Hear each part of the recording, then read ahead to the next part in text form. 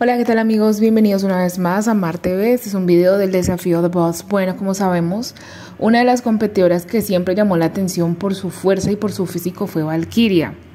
Bueno, y como supimos, pues esta fue la ganadora de este reality y realmente en redes sociales recibió bastantes halagos de quienes la admiraban, mientras que por un lado hubo un grupo de personas que criticaban que ella fuera competencia para las demás niñas por su apariencia y corpulencia, ya que tenía, según algunos de los televidentes, similitud a un hombre. Hasta muchos se atrevieron a ir más allá y acusarla de que ella era una transgénero y que quizás no era ninguna mujer y había ganado con trampa pues porque tenía mucha ventaja sobre las que sí eran verdaderas mujeres.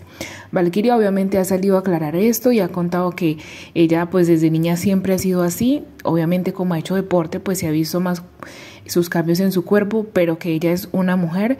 Es triste que ella tenga que salir a aclarar algo tan obvio y que para muchos es polémica. Yo quiero saber ustedes qué opinan de esto. Déjenmelo saber en los comentarios.